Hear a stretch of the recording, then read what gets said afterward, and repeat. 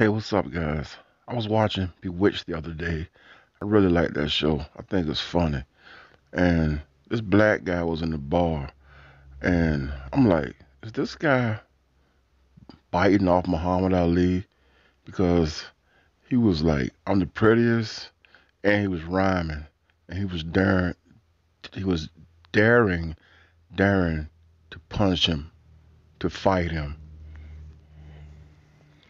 See, earlier in the same bar, Darrin knocked out the heavyweight champ because his wife, Bewitched, put a spell on him to make him strong. So now this guy wanted to fight him. I'm the prettiest, and I've got an iron jaw, so bust me one. What? I mean it. Give me your Sunday punch. I'll bet you can't even make me blink. Well, go on. Give it your best, put it to the test, and I'll put you to rest.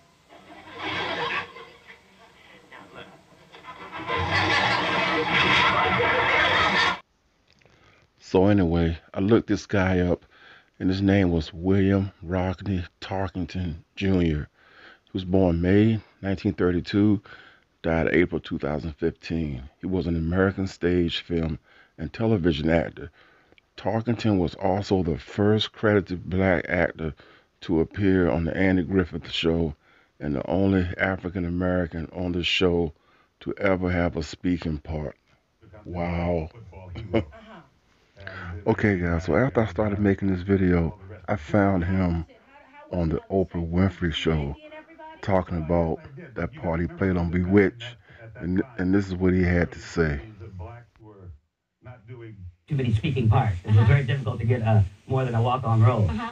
And uh, I was one of the fortunate ones to be able to get a speaking part. And I was the first black to do a guest star role on the Andy Griffith Show. That's amazing. That is amazing. He was also one of the first black actors on Bewitched. You were on Bewitched too?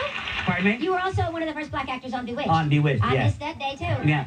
Well, probably because I was playing uh, Muhammad Ali, a character like Muhammad Ali. In fact, he called me and told me that I did quite good on the show, but I wasn't as pretty as he was. Uh-huh. Thanks, Rodney, and thanks, Mel. Also, Tarkington was the first choice to play the part of Williams in Enter the Dragon, 1973.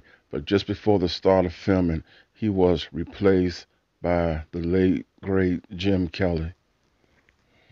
Double wow.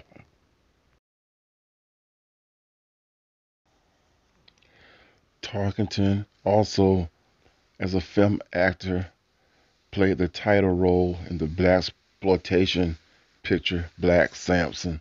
That's a good movie. Check it out if you get a chance. He also played in the Baltimore Bullet, which starred, which had a lot of professional pool players in it. So yeah, guy, this guy was a, a pioneer, trailblazing actor that you probably don't even probably don't even know of. So check him out.